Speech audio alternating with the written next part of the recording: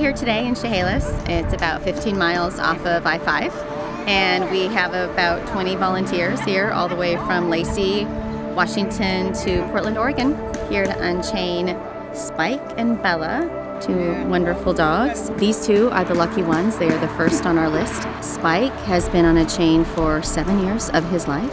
Both of the dogs, Bella and Spike, had just very little shelter. Um, and protection from the elements. So as soon as we discovered that, within 24 hours we had our doghouse deliver come out and uh, install two dog houses.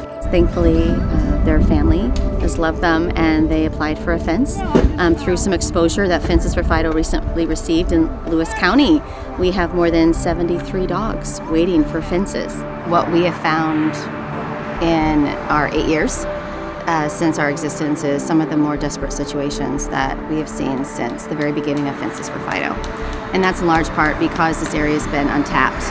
Many of these dogs are chained 24 hours a day and don't know life at all beyond a six foot chain. That's their world. And Spike is one of those dogs. And we're very excited for his moment of freedom.